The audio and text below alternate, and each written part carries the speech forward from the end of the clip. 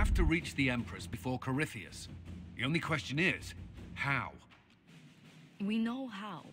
I have our way in. The real question is, where is our enemy hiding? At the urging of Grand Duchess Florianne, the Empress is holding a ball. Absolutely everyone will be there. During the festivities, Celine will be meeting for peace talks with the usurper Duke Gaspard and Ambassador Briala. The assassin must be hiding within one of these factions.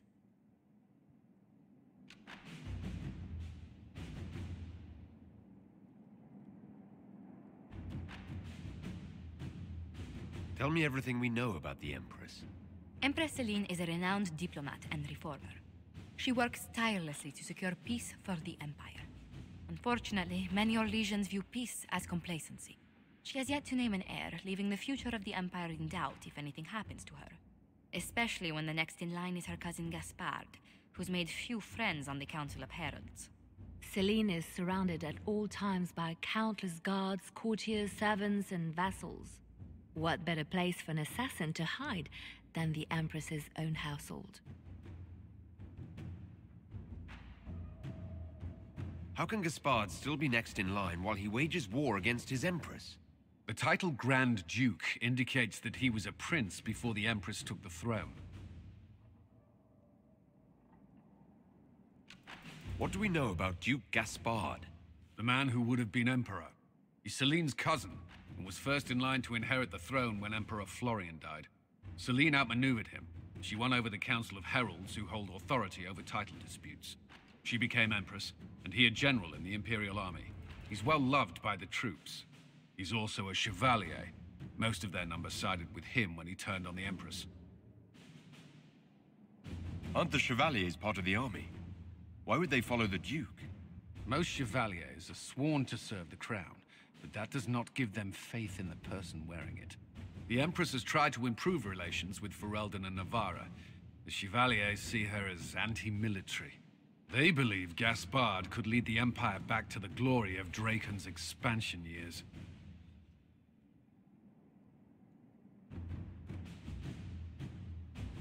Who is this Ambassador Briala? An ambassador in name only, she has organized the elves of Halamshiral into an underground army. The Empress invited her to the peace talks in a bid to gain the elves' alliance in the war. That would be scandal enough, without the rumor that Briala is a jilted lover of Celine's. A personal grudge and a network of saboteurs at her command. Eh, promising lead. Wait, the elven leader is a jilted lover of the Empress. It's not widely known, just a rumor whispered among the palace servants a few years ago. If it's true and were to get out, the Empress and an elf. Hmm. The scandal could destroy Celine's court. Even if a lie, Briala could use it to blackmail the Empress. She has some connection to the throne.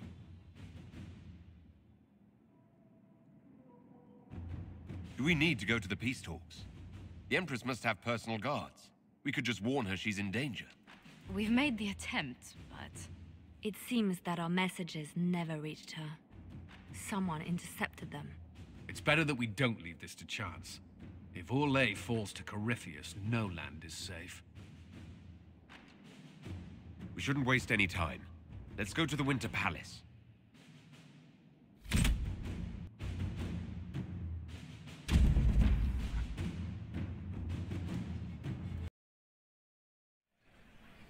The political situation in Halamshiral hangs by a thread.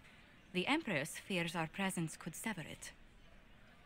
The Grand Duke is only too happy to have us at the ball as his guests, so our invitation comes from him. Whether we act as his allies or upset the balance of power, he gains an opportunity, if not a clear advantage.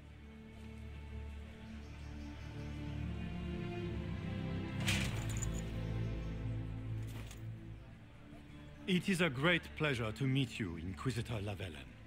The rumors coming out of the Western Approach say you battled an army of demons. Imagine what the Inquisition could accomplish with the full support of the rightful Emperor of Orlais.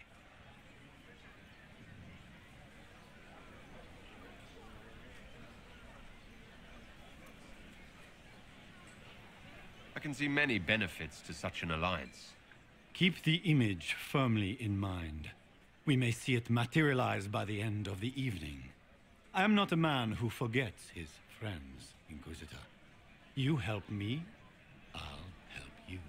Prepared to shock the Assembly by appearing as the guest of a hateful usurper, my lord? They will be telling stories of this into the next age.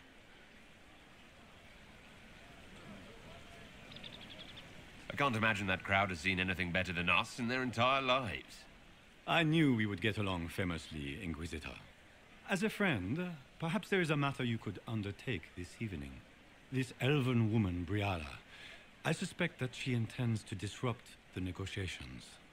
My people have found these ambassadors all over the fortifications. Sabotage seems the least of their crimes. That sounds like something I should look into. Be as discreet as possible. I detest the game, but if we do not play it well, our enemies will make us look like villains. We're keeping the court waiting, Inquisitor. Shall we? Is that the Inquisitor? An elf savage? Oh, Maker forbid! This is Gaspard's idea of a joke.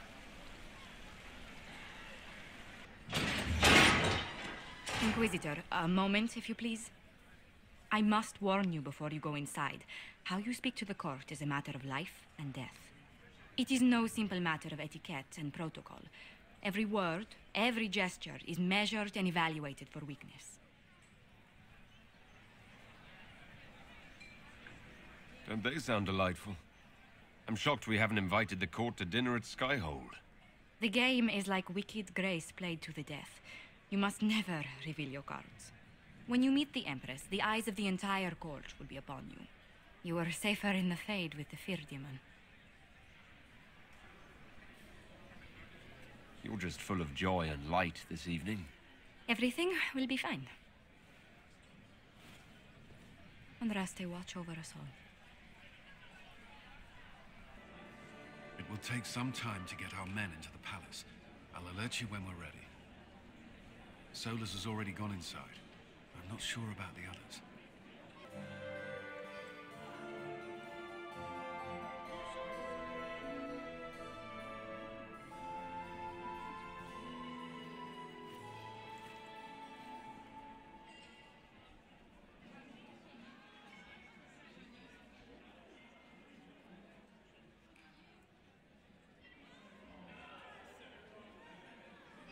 And now presenting. Grand Duke Gaspard de Chalon, and accompanying him, Lord Inquisitor Lavellan.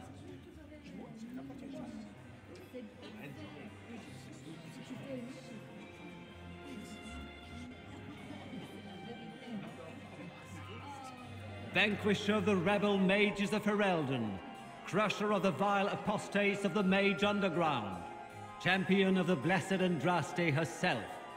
Did you see their faces? Priceless. Accompanying the Inquisitor, Lord Dorian Pavus, member of the Circle of Vyrantium, son of Lord Magister Halward Pavus of Asariel, the Lord Inquisitor's elven servant, Solas, Sir Cullen Stanton Rutherford of Honnleath, commander of the forces of the Inquisition, former Knight Commander of Kirkwall. Cousin, my dear sister, Grand Duke, we are always honored when your presence graces our court. don't waste my time with pleasantries, Celine. We have business to conclude. We will meet for the negotiations after we have seen to our other guests. Inquisitor? Lord Inquisitor, we welcome you to the Winter Palace. Allow us to present our cousin, the Grand Duchess of Leeds, without whom this gathering would never have been possible. What an unexpected pleasure. I was not aware the Inquisition would be part of our festivities. We will certainly speak later, Inquisitor. Your arrival at court is like a cool wind on a summer's day. I'm delighted to be here, Your Majesty. We have heard much of your exploits, Inquisitor. They have made grand tales for long evenings. How do you find Halamshiral?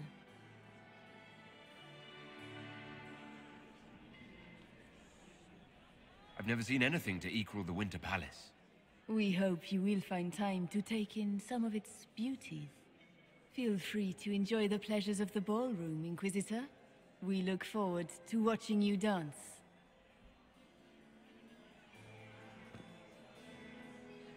Inquisitor, a word when you have a moment.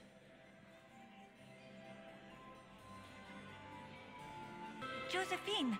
Oh, Josephine! Is this him?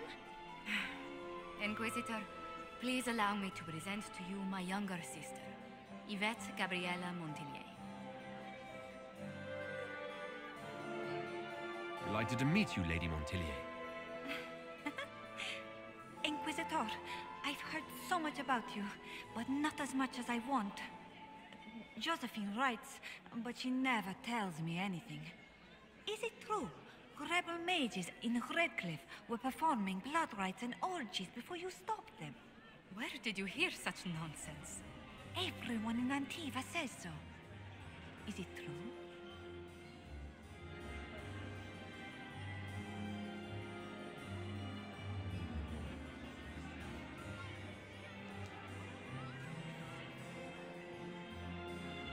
Story's a little more than wistful thinking, my lady.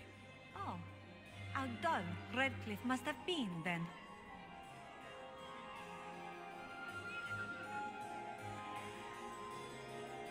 Tell me about yourself, Lady Yvette. This is the first time I've encountered any of Josephine's family. She would forget to mention the artists. I've been studying painting under Antiva's royal tutors. You should be proud, Josie. I'm going to be exhibiting my work next season in the city's biggest salon. Have you actually sat down and finished the painting yet? I must wait for my inspiration. And I must wait for your tutor's bills.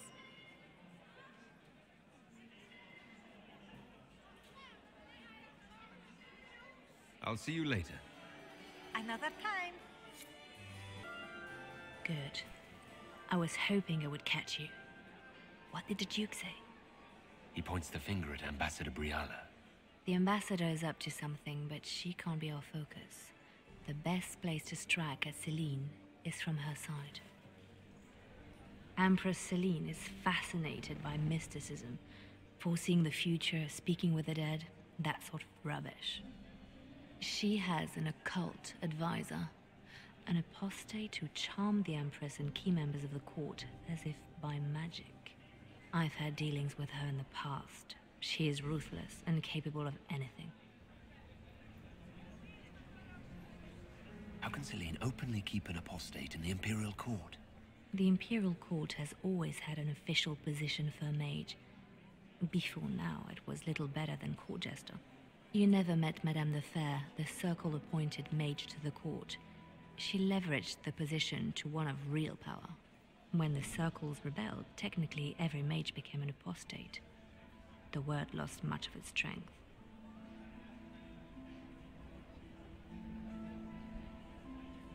That sounds exactly like the person we're looking for. She's worth investigating. Can't be sure of anything here. Both leads point toward the guest wing. It's a promising place to start. I'll coordinate with our spies to see if I can find anything better. I will be in the ballroom if you need me. I do adore the heady blend of power, intrigue, danger, and sex that permeates these events.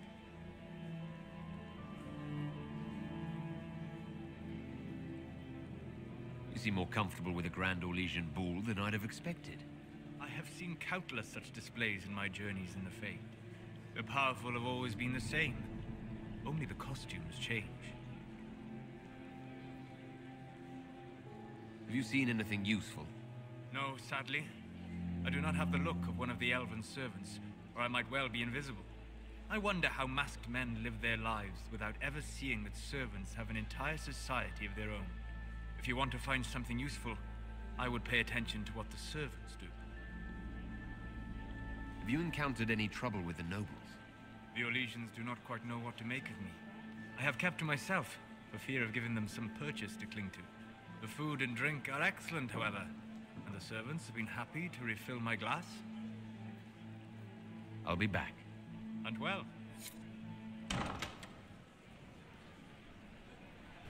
My lord! My lord Inquisitor! May we have a word? It is very important.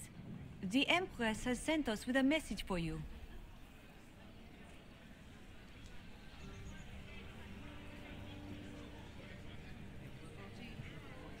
Can I be certain this message is from the Empress? We three wear the masks of House Valmont. They signify that we are public faces of the Empress. They are also extremely fashionable. Funny that she couldn't give me this message when we spoke. Oh, she could not speak freely in front of the entire court, Inquisitor. Empress Celine is eager to assist the Herald of Andraste in his holy endeavor. She will pledge her full support to the Inquisition as soon as the usurper Gaspard is defeated.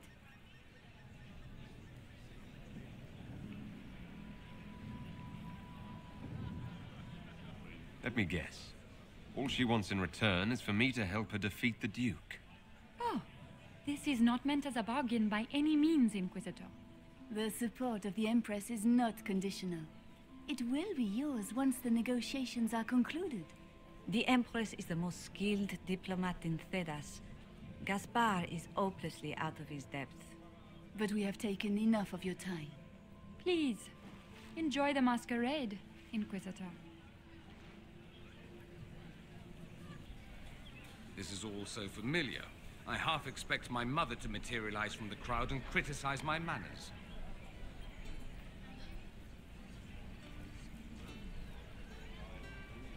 This how the elite of Tevinter carry on? You could almost mistake this for a soiree in the Imperial. The same double-dealing, elegant poison canapes. It's lacking only a few sacrificial slaves and some blood magic. But the night is still young.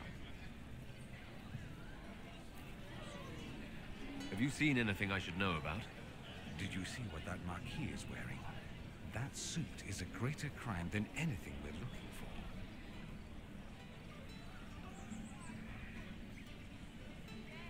What if your mother were actually here? Where would we be then? Short one mage after he's dragged out by his earlobe. I'm having difficulty picturing that. Picture me a young boy of five years then. She certainly always has. Don't wear yourself out mingling. I expect a dance before this is over. Dancing with the evil Magister in full view of every noble in Orlais. How shocking. They'll live. You say that now. If you can find me ten silk scarves, I've got a dance that will really shock them. Well, well. What have we here? The leader of the new Inquisition, fabled herald of the faith. Delivered from the grasp of the Fade by the hand of blessed Andraste herself. What could bring such an exalted creature here to the Imperial Court, I wonder? Do even you know?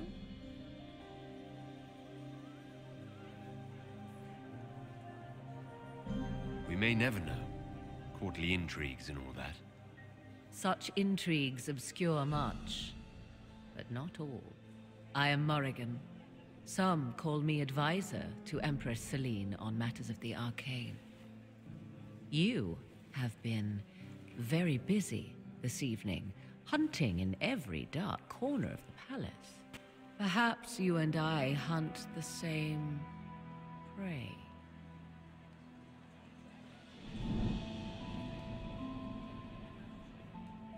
I don't know.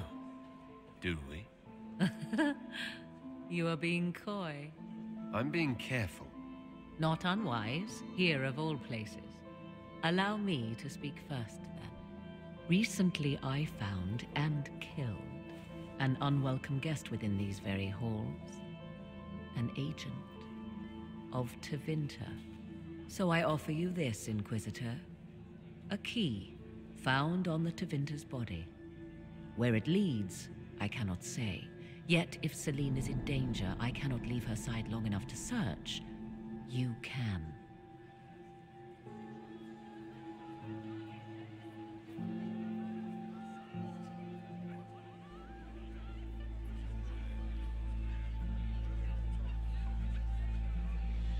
Briala's people are whispering about disappearances in the servants' quarters.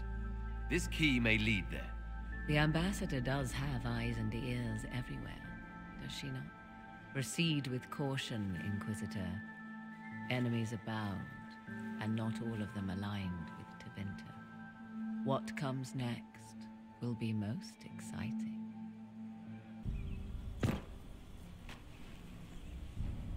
This was no servant. What was he doing here? He doesn't belong. Even if he weren't dead, he would be wrong. Is that the Chalon family crest? What have you been up to, Gaspard? Time to have a word with the Duke. No, no.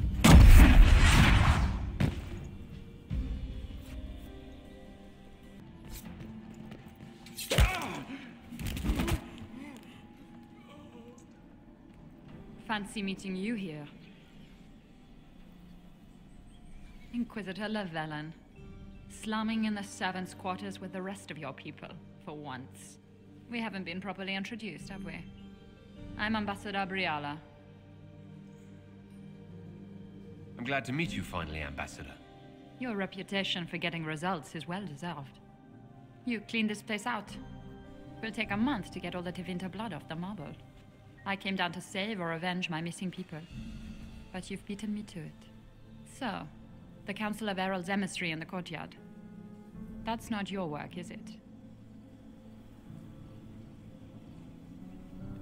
He was dead when I arrived. I expected as much. You may have arrived with the Grand Duke, but you don't seem to be doing his dirty work. I knew he was smuggling his chevaliers.